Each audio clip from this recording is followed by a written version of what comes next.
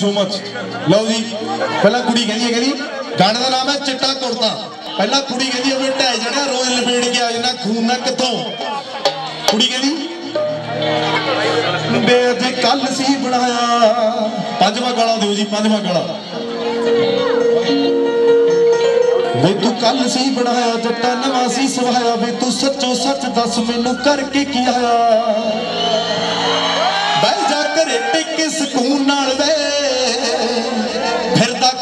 ਗੱਪੜਦਾ ਕਾਨੂੰਨ ਨਾਲ ਵੇ ਆ ਤੂੰ ਅੱਜ ਫਿਰ ਕਿਹਦੇ ਨਾਲ ਖਹਿ ਗਿਆ ਗਿਆ ਚਿੱਟਾ ਕੁੜਤਾ ਲਵੇੜਿਆ ਤੂੰ ਖੂਨ ਨਾਲ ਵੇ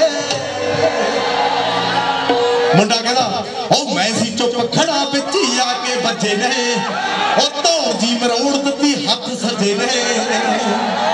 ਉਹ ਖਾਲੀ ਹੱਥ ਨਿਕਲਿਆ, ਝੱਲਾ ਹੀ ਸੀ ਮੈਂ ਉਹ ਤਾਂ ਤਿੰਨ ਚਾਰ ਸੀਗੇ, ਕੱਲਾ ਹੀ ਸੀ ਮੈਂ ਆਖਦੇ ਸੀ ਲੋਕਾਂ ਨੂੰ ਵੇ ਧੱਕਾ ਕਰਨਾ।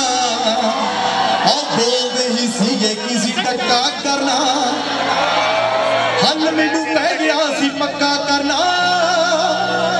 ਇਹਨੇ ਵਿੱਚ ਕੁੜੇ ਸਾਰਾ ਨਿਬੜ ਗਿਆ। ਬੈਰੀ ਸਾਰੇ ਸ਼ਹਿਰ ਵਿੱਚੋਂ ਸਾਫ਼ ਕਰਦੇ, ਤਾਈਓ ਚਿੱਟਾ ਕੁੜਤਾ ਨਹੀਂ ਨਿਬੜ ਗਿਆ।